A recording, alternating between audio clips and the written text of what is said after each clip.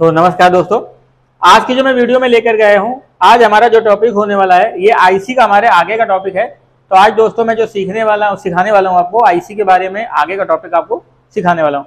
जैसा कि दोस्तों मैंने आपको पहले की वीडियो में आपके मोबाइल फ़ोन के अंदर जो सी पी आईसी लगी होती है पावर आईसी लगी होती है एमएमसी आईसी लगी होती है चार्जिंग आईसी लगी होती है, ये आप देखेंगे तो मदरबोर्ड में जितने भी तरीके की, जितनी भी ब्रांड की, जितनी भी अलग अलग तरीके की आईसी लगी होती हैं सारी आईसीओ को हम लोग कैसे कंट्रोल करेंगे, या सारी आईसीओ पे कैसे काम करेंगे, उसका तरीका हम लोग सीखेंगे।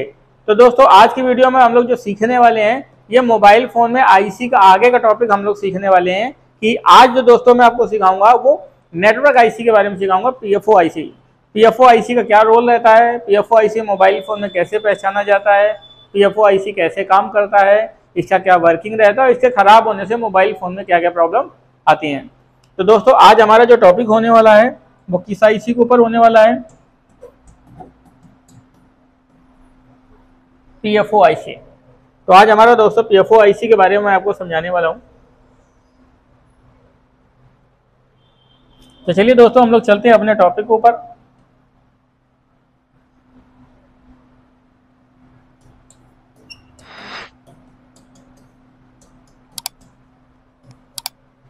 पीएफओ आईसी पीएफओ आईसी का पूरा नाम होता है पावर फ्रिक्वेंसी ऑसिलेटर पीएफओ का पूरा नाम क्या होता है? पावर फ्रिक्वेंसी ऑसिलेटर जो भी हमारे पास मोबाइल फ़ोन आते हैं, सभी मोबाइल फ़ोन के अंदर पीएफओ आईसी पाई जाती है फ़िलहाल। पीएफओ आईसी का मैंने आपको क्या बताया? पावर फ्रिक्वेंसी ऑसिलेटर ये पी एफ़ का क्या होता है? पूरा नाम होता है। सभी मोबाइल फ़ोन में पी एफ़ लगी होती है।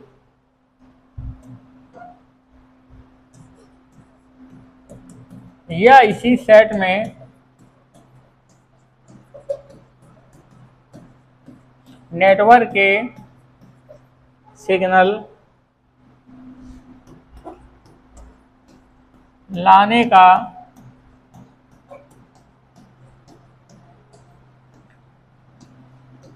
वर्क करती है, या इसी क्या काम करती है मोबाइल फ़ोन में नेटवर्क के सिग्नल लाने का काम करती है। मतलब जो भी मोबाइल फ़ोन आते हैं तो सभी मोबाइल फ़ोन में या इसी नेटवर्क के सिग्नल लाने का काम करती है। इसकी पहचान के लिए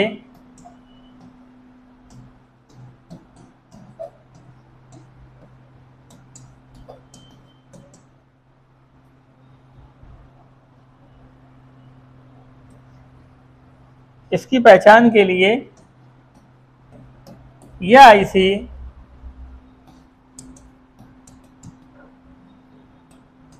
अंटीना के पास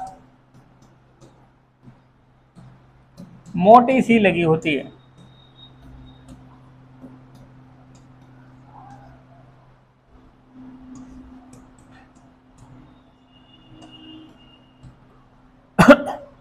तो दोस्तों, जैसा मैंने आपको बताया कि पीएफओ आईसी सेट में पावर फ्रिक्वेंसी ऑसिलेटर ये पीएफओ आईसी का पूरा नाम होता है।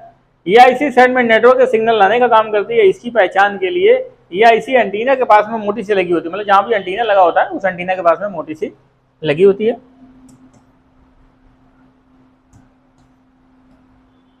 Four G P F O आयताकार शेप में होता है। तो पीएफओ आईसी की पहचान क्या होती है? जैसे अगर आप देखेंगे तो आपके बोर्ड में गोल्डन कलर का अंटीना लगा होता है ऐसे। अंटीना का वायर भी लगा होता है। तो इसी के बाद में जो पीएफओ आईसी लगी होती है, वो चौकोर से पीएफओ आईसी लगी होती है, थोड़ी सी मोटी होती है। जो 4G पीएफओ होता है, वो भी जैसे इसी के आसपास आगे पीछे भी लगा हो सकता है। लेकिन उसके अगर आप देखेंगे तो उसकी शेप जो होती है, इस तरीके से आयताकार शेप में होती है। मोटा दोनों होता है। तो ये हमारा कैसा रहता है? चौकोर शेप में होता है। और हमारा जो फोर जी पी होता है, वो आयताकार शेप में लगा होता है। अच्छा पीएफओ आईसी जो होती है, इसका काम क्या रहता है? हमारे मोबाइल फ़ोन में जो अंटीना होता है अंटीना से सिग्नल आता है पीएफओ आईसी के अंदर। पीएफओ आईसी को काम करने के लिए वोल्टेज भी चाहिए होते हैं। 3.7 वोल्टेज तब पीएफओ आईसी क्या काम करता है? अपने अंदर से आर एक्स और टी एक्स सिग्नल को निकालता है। ये R X T X signal आगे जाते हैं। आगे जाने के बाद फिर four G P F O के अंदर चले जाते हैं। Four G P F O signal को बूस्ट करके आगे निकाल देता है। फिर वो सिग्नल आगे network IC R F I C W T R के लिए चले जाते हैं। तो ये मैंने आपको बताया एंटीना से जो पी एफ़ ओ का इस तरीके से कनेक्शन होता है। और सभी मोबाइल फ़ोन में P F O I C पाई जाती है। पी एफ़ ओ आई सी खराब होने से मोबाइल फ़ोन में नेटवर्क नहीं आते, या कॉल लगाने के बाद कॉल कट जाती है, या इससे खराब होने से मोबाइल फ़ोन हैंडसेट डेड भी हो जाता है, या पी एफ़ ओ आई सी संबंधित जो भी टोटल प्रॉब्लम आती है मोस्टली नेटवर्क की प्रॉब्लम आती है और नेटवर्क की problem P F O I C ही आती है। तो हम लोग अब पहचानेंगे कि इसको बोर्ड में कैसे पहचाना जाता है या मदर बोर्ड में आप कैसे पहचानेंगे कि पी एफ़ ओ आई सी के बारे में।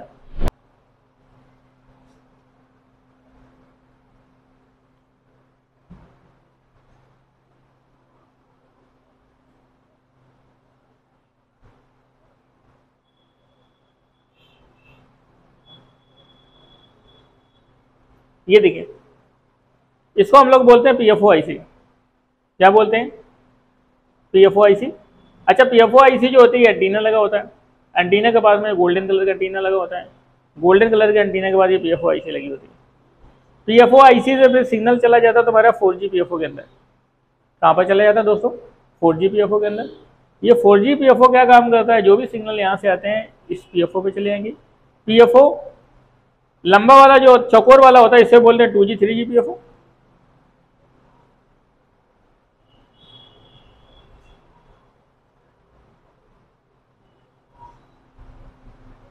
इसे हम लोग बोलते हैं two G three G P F O ये लंबा वाला जो होता है, इसको four G P F O बोलते हैं। तो ये आपके बोर्ड में पहचान, ये एंटीना लगा है गोल्डन कलर का एंटीना फिर ये सिग्नल इस पर आएगा। तो इसका काम क्या होता है?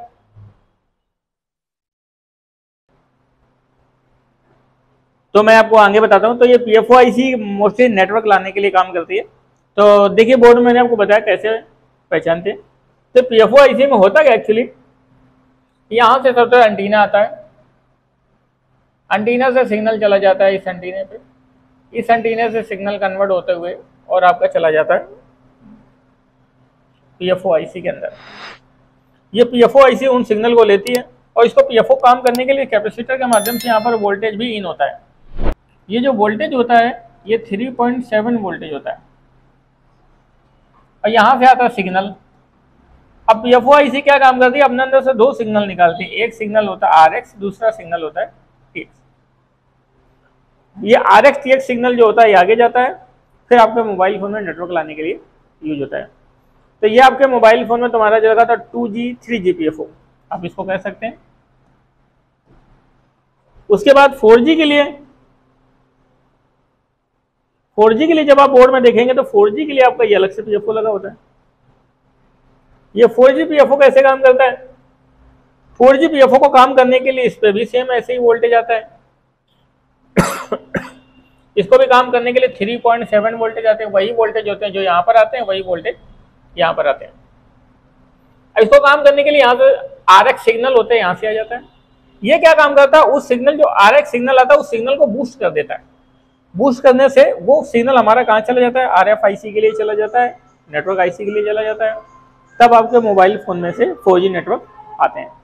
तो ये आपका two G three G four G P F O में कॉम्बिनेशन होता है। मतलब two G three G P F O पहले काम करता है, उसके बाद फिर तुम्हारा four G P F O काम करता है। अगर बहुत ऐसे मोबाइल फ़ोन आते हैं, जिस मोबाइल फ़ोन में नेटवर्क की प्रॉब्लम आती है फ़ोन में टावर नहीं आते हैं, कभी आते हैं, कभी चले जाते हैं, ऐसी कोई प्रॉब्लम आती है तो आप मोबाइल फ़ोन में सबसे पहले बात एंटीना को चेक करिए। मैं आपको बताता हूँ कहाँ पर एंटीना लगा हुआ है। इसको एंटीना वायर को चेक करिए। ये गोल्डन कलर एंटीना खराब हो जाता है, इस पर आप जंपर भी मार सकते हैं। इसकी वजह से भी नेटवर्क वीकनेस की प्रॉब्लम आती है। फिर भी कई बार पीएफओ के पिनों में मॉइस्चर नमी कार्बन आ जाता है तो आप इस आईसी को हल्का सा एक बार रिसोल्ड कर सकते हैं, क्योंकि सिग्नल की आईसी होती है। अगर इसमें से मॉइस्चर आ जाता है तो सिग्नल हमारा डिस्टर्ब हो जाता है जिस कारण से मोबाइल फ़ोन नेटवर्क आना बंद हो जाता है तो आप इसको रिसोल्ड करने से फ़ोन में टावर आ जाते हैं। और नहीं आते तो फिर इसके अलावा और भी आगे का सर्किट चेक किया जाता है, वो फिर मैं आपको आगे बताऊँगा। अभी फ़िलहाल मैं आपको पी एफ़ के बारे में आपको बता रहा हूँ। तो जैसा कि दोस्तों, आज मैंने आपको एफ़ के बारे में बताया है। तो मैं आशा करता हूँ कि जो भी मैंने आपको वीडियो दिया हुआ है, वो आपको अच्छे से क्लियरिटी से समझ में आया होगा। वीडियो के माध्यम से एक एक करके सारी चीज़ों को सीखने के बारे में आपको पता चला होगा कि कैसे हम पी एफ़ को पहचान सकते हैं, कैसे बोर्ड में नेटवर्क की प्रॉब्लम आएगी तो एंटीना के लाइन को हम लोग चेक कर सकते हैं। तो दोस्तों, आज की वीडियो में मैंने आपको नेटवर्क से संबंधित सारी आपको जानकारी दी है। अगर कोई भी प्रॉब्लम, कोई भी दिक्कत, कोई भी समस्या आती है तो नीचे हमारे दिए हुए नंबर पर संपर्क कर सकते हैं। जैसा कि दोस्तों, मैंने आपको आईसी के लिए बहुत सारा एक अहम टॉपिक लेकर के आए हैं, ताकि आप बहुत हमारे ऐसे स्टूडेंट हैं, जो लोग नेटवर्क की प्रॉब्लम है, या आईसी से संबंधित बहुत सारी प्रॉब्लम को जो लोग रिपेयर करते हैं, और रिपेयर करने के बाद वो प्रॉब्लम ठीक नहीं होती है वो आईसी पहचान नहीं पाते, और बोर्ड में रिपेयर करने में कहीं ना कहीं उनको प्रॉब्लम आती है। तो वीडियो के माध्यम से वो देख करके काफ़ी चीज़ों को समझ सकते हैं, और वीडियो उनके लिए बड़ा हेल्पफुल होने वाली है। दूसरी बात मैं आपको कहना चाहता हूँ कि एक हमारे पास स्टूडेंट है, राम नरेश करके। वो फ़िलहाल गुजरात के, गुजरात में गुजरात में हाँ इस समय जॉब कर रहे हैं, फ़िलहाल रहने वाले अयोध्या के हैं, और वो कुछ दिन बाद ट्रेनिंग सेंटर को ज्वाइन करेंगे। उन्होंने बताया कि, सर, मैं एक साल से आपकी वीडियो को देख रहा हूँ और वीडियो के माध्यम से एक एक करके सारी चीज़ों को नोट भी कर रहा हूँ। और मुझे इतना वीडियो से समझने को आया है, इतना अच्छा लगा है कि मुझे लगता है कि मैं कोई भी मोबाइल फ़ोन आएगा तो मैं उसको बना सकता हूँ। लेकिन मैंने उस पर कभी काम नहीं किया। तो काम ना करने की वजह से मेरा प्रैक्टिस नहीं है, मेरा हाथ अच्छा नहीं है। तो हाथ अच्छा ना होने की वजह से मुझे लगता है कि, सर, मुझे आपके पास आना ही पड़ेगा। और मैं एक साल नौकरी कर लिया, मैं जॉब छोड़ने के बाद अपना सीधे काम सीखूँगा, काम सीखने के बाद अपने मोबाइल फ़ोन रिपेयरिंग की शॉप खोलूँगा या अपना काम करूँगा बाहर नौकरी से मुझे छुट्टी मिल जाएगी। क्योंकि सर, मैं दो तीन साल हो गए नौकरी करते करते और ऐसे मुझे लगता है कि कब तक चलेगा, मैं घर में आता रहूँगा, जाता रहूँगा और ऐसे ही नौकरी कर करके मेरा समय निकलता जाएगा और हम कुछ लाइफ में अच्छे से कर नहीं पाएँगे। क्यों नहीं कर पाएँगे?